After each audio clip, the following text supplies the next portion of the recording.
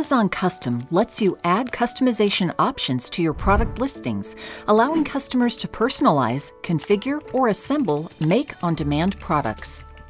Custom product orders must be fulfilled through the Merchant Fulfilled Network MFN or the Seller Fulfilled Prime SFP program and are not eligible for Fulfillment by Amazon FBA.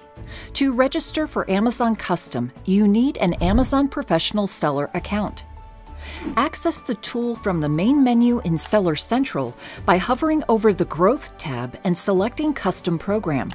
You can add and manage customizations for your listings from the Edit Customizations page. The Amazon Custom tool allows you to add multiple customizable areas for your product called surfaces. For example, on a t-shirt, the front and back could be considered separate surfaces. Each surface can include numerous customizations.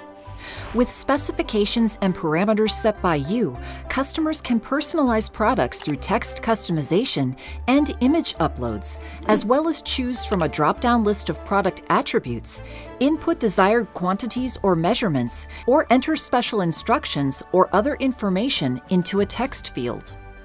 For a step by step guide on how to list products with Amazon Custom, read our Create and Manage Amazon Custom Listings PDF guide in Seller University.